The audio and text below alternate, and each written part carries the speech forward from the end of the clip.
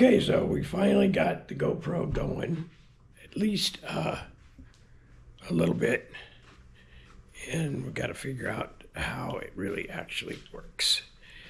It is uh, wasn't easy. I even bought a a book so I wouldn't have to keep stopping the video to uh, do it, and it doesn't tell you enough. I'll tell you that right now. But uh, it's going to be a learning curve, but I'm thinking it's going to be good. But here we are. Coming out of the van, New Year's Eve, trying to get some work done. Um, ta-da, my entrance. Sheesh, isn't that going to be something? Here's my mess of stuff going on. Um, Got to get the rear screen to stay on, I guess, too, when I'm doing this side. It's cold. Not that cold. It's not like back east. And what do we got going on here? Ooh, low light.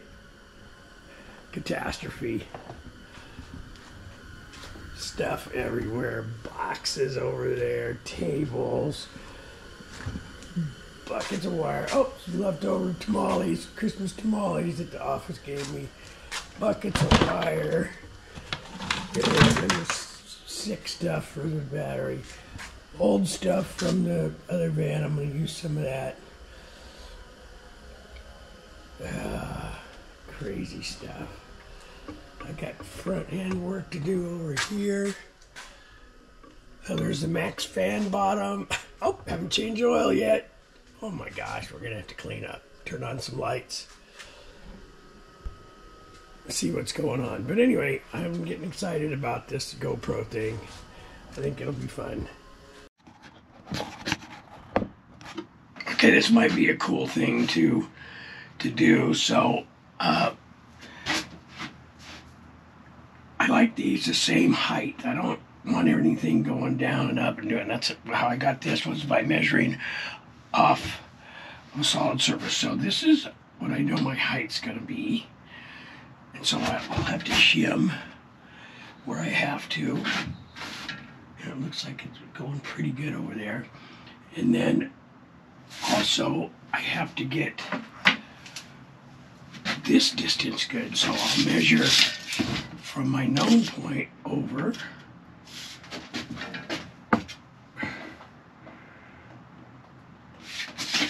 And make that even. So I know I'm a half inch out. So I'll scribe a half inch down to there, or it just worked out to where my gap is, then push it in and then get my level, quote unquote, my plane directly off of my seat and my other workstation. Uh, just to make things all fairly good. And uh, it might work out just fine. I want to cut that one back in over there to do that, but as you can see, there's quite a gap here, but I don't want it to just slope down. I mean, I just don't, I don't want that. I want it to, to do that because I could trim all this out nice and make it look good when I'm done. But uh, anyway, that's where we're at right now. Uh, so here we are. Um, insulation is up. I figured out how I'm going to tie these two in. At least in these two spots over here will be different. And uh, yeah, yeah, yeah. What I really want to do is put the wood on and that. But what I need to do is put the stupid sticks up. I hate that job, getting all these up. I mean, I don't hate it, hate it. But this area is difficult because of the distance. And then I need to tackle this. I need to get the sticks up. I mean, gotta do it. So I'm gonna drink water, do some more push-ups. trying to get back into my routine after the operations where you, you don't do something for three or four months you, you, you lose all the that you've gained it seems like. Not all but um, you know you, you got to work back up to what you were used to doing.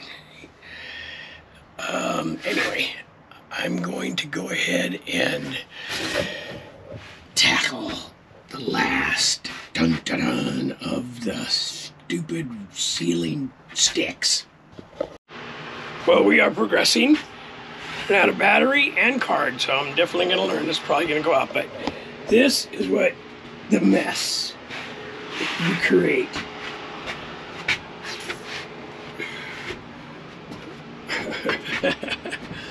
Look at this, and then here we go out here. This is not looking too bad. Yeah, this is this is not not healthy. This is my little cart. I made this so I could wheel around. And I think I showed this before, but yeah, it's pretty cool. It works out good. Um, but uh, yeah, this is what you gotta stop.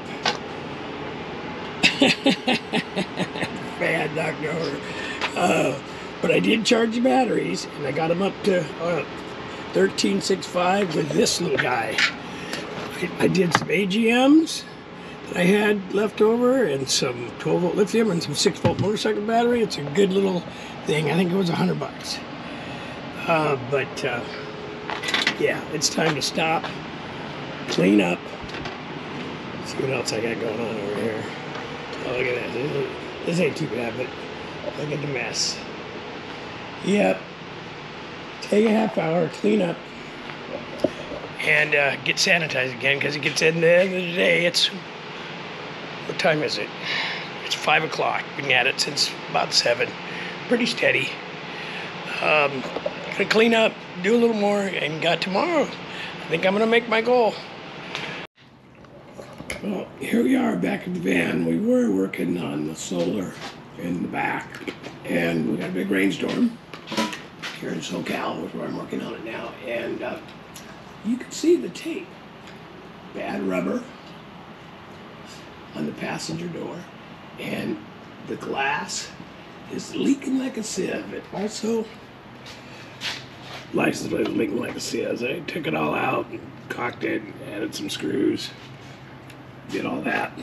So I'm gonna bring it in over the weekend and try to get the glass sealed because we got rain Saturday, Sunday, and Monday. It looks like. And another thing I got done is I got the solar panels up. And it came out pretty good. I ended up I don't know how good we could see here, but I was able to put some brackets front, middle, and back, and a solid bar across the middle.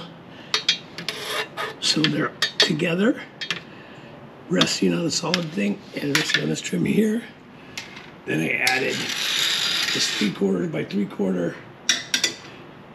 It's steel. I mean, it'd be nice if it was aluminum, but it's what I got here, and I'm to use what I can. I'll grind these out and put the caps on them here soon. And we'll try and do, do, do, get all the hardware, the stainless, are painted as we go. But I just got them covered, and I got the current there. Who are these Spartans? Two 200 watt panels.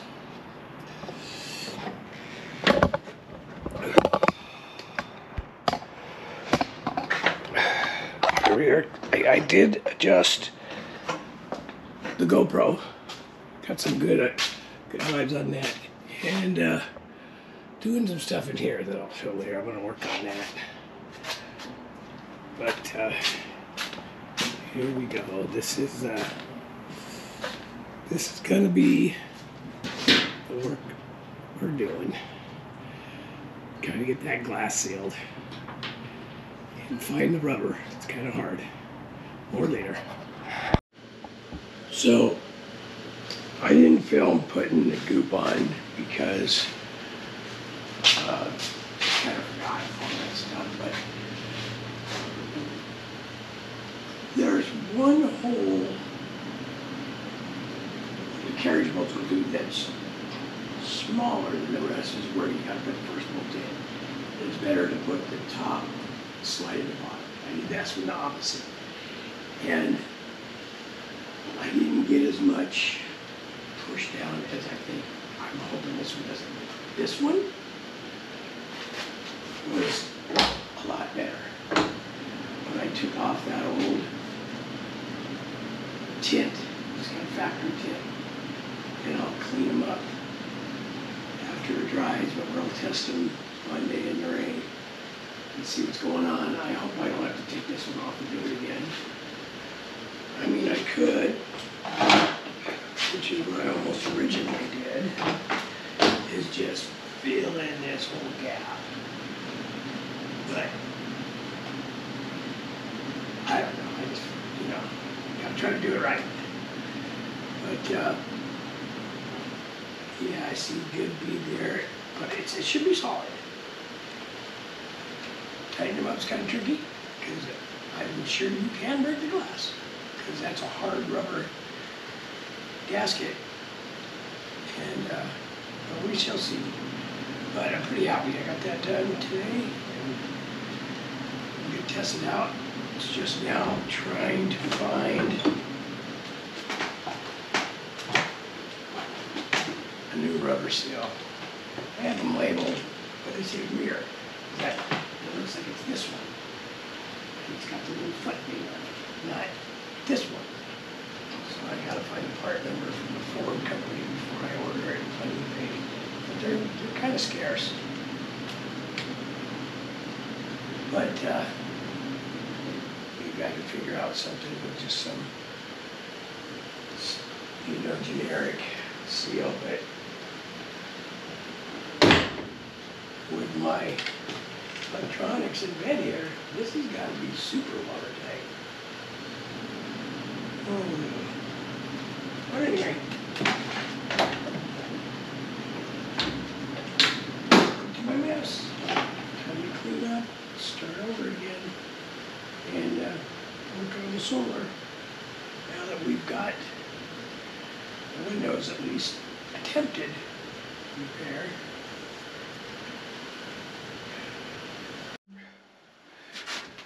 Okay, so I decided to work on this area, the shower area, a little bit. Though I got the windows done, I'm ready to, uh, the solar I'm just not into today. Uh, but I want to work on this area so I can get my plumbing going. And I decided I needed a partial partition here and all the way up to do something different with the shower curtain that I got to do. And making this, patterns for this, are a problem. So I'll show you how I did it. And uh, maybe it'll help. Or maybe you guys can tell me a better way. But so what I first started doing is I took just strips of card paper one at a time. And made the pattern close, close as I can. Taped another one on top. Did that one, taped another one, taped another, taped another.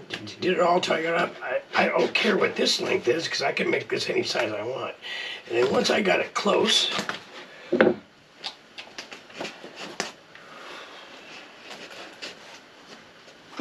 I took a Sharpie and just followed the wall.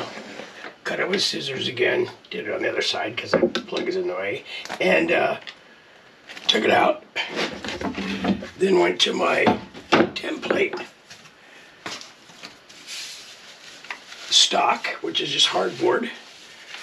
And traced it on there. Made it kind of where I wanted it to end. Did that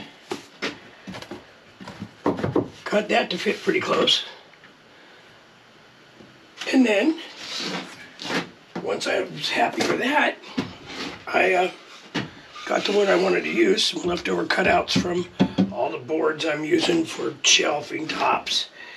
And uh, get it on there and cut it out with a jigsaw. And then make it a flush. Now we just gotta figure out how we wanna attach it. Probably right through here is one. We're gonna get that screwed to the back side because I left this little dog ear on that so we could attach it and uh, and we'll go from there. The next one I'm gonna make the pattern from here up.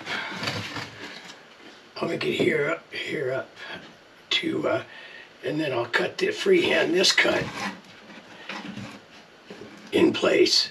That's why I ran along.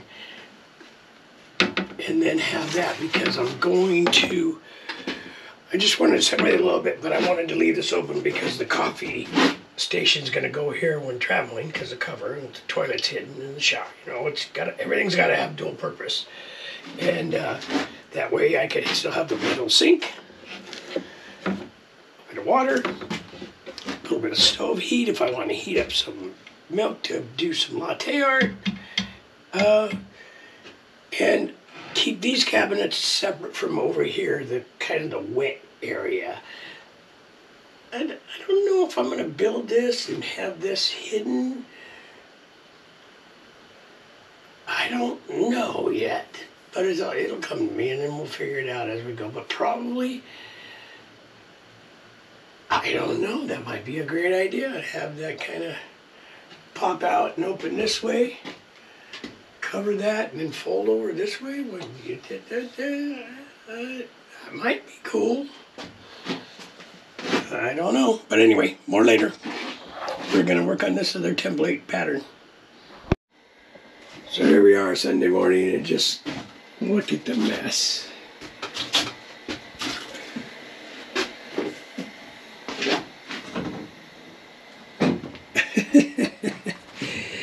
I have got stuff everywhere.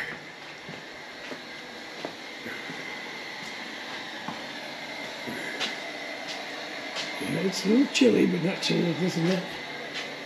Can't even see in there. This is try that little light thing that we got for the GoPro. Oh, works. Look at more ah, mess over here. What do we got? Oh, we got more mess over there too. Oh my gosh.